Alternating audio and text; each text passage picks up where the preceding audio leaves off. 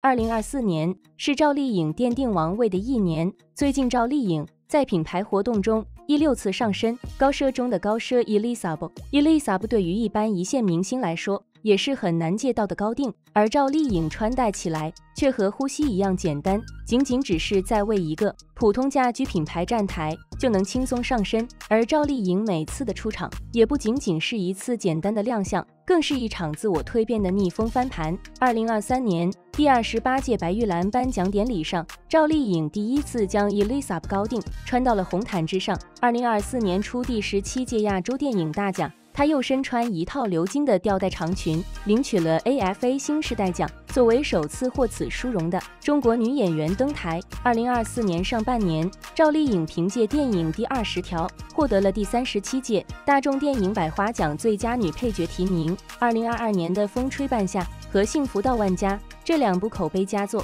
直到现在仍被各大主流媒体夸赞。央视六公主更是抽出五分钟单独夸，肯定了赵丽颖近十年的所有作品，认证赵丽颖影视资源全面开花。非科班出身的赵丽颖，多年来凭借自己的努力，在电影电视剧领域全面开花。而六公主对赵丽颖的夸赞可不止这一次，高度评价花千骨，肯定赵丽颖在第二十条中的表现，力挺认证与奉行。为东方神话剧，央视新闻发国家大事，更是用上了《与凤行碧苍战歌》。不知道的还以为六公主是赵丽颖的亲戚呢。一部电影、一部电视剧和四场活动，赵丽颖就牢牢占据了二零二四年上半年的热搜话题榜首。二零二三年，新力传媒的年度营收相比二零二二年减少了三亿多，而二零二四年刚过半，新力传媒就凭借《与凤行》重回行业之巅，《与凤行》开播。首日热度直接突破三万，是今年第一部单日破亿的剧集，还是在非暑假档播放，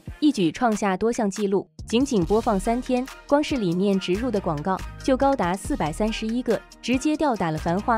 新力传媒投资三亿，赵丽颖就助新力传媒赚了三十五亿，收视和广告赚翻。新力传媒和腾讯也赢麻了，与凤行完结。三月之久，仍能带动社会旅游经济发展，弘扬中国传统艺术文化和东方神话魅力，甚至连备受观众期待的《长相思二》都未能超越。与凤行首播热度、长尾效应延续至今。与凤行剧播期间，沈黎同款汉服引爆市场，京东三月汉服成交额增长百分之三百。拍摄地丽水仙都成为二零二四年假期旅游热门地，这不仅仅是与凤行的效应，更是赵丽颖强大路人盘的体现。赵丽颖拥有如此恐怖如斯的商业价值，怪不得能让高冷的 ES 将当季高定新品送到。除了赵丽颖，内娱很难再找到第二人。之后，除了万众瞩目的百花奖颁奖典礼，赵丽颖还有在人间、乔岩的心事等电影待播。野蛮生长的赵丽颖。还会带来怎样的惊喜？二零二四年